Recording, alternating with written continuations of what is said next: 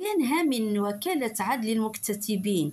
دعت الوكالة الوطنية لتحسين السكن وتطوير عدل المكتتبين الذين لم يستكملوا إجراءات المتعلقة بالاكتتاب في برنامج سكنات البيع بالإيجار إلى الولوج لموقعها الإلكتروني من أجل الاطلاع على وضعية ملفاتهم. وجاء في بيان نشرته الوكالة إلى مو على موقعها الإلكتروني تدعو وكالة عدل المكتتبين الذين قاموا بدفع الشطر الأول أو الأشطر الأخرى ولم يتمكنوا من استكمال باقي الإجراءات للاستفادة من السكن إلى الولوج للموقع الإلكتروني للوكالة وتصفح الخانات المتعلقة بنتائج الطعون ونتائج المراقبة عبر البطاقية الوطنية. وكذا خانة الإشعارات من أجل الاطلاع على النتائج المتعلقة بدراسة ملفاتهم وذكر البيان بأن المكتتب ملزم بزيارة الموقع الإلكتروني الخاص بالوكالة مرة واحدة في الشهر على الأقل وهذا تطبيقا للقرار الوزاري والمؤرخ في 11 سبتمبر 2021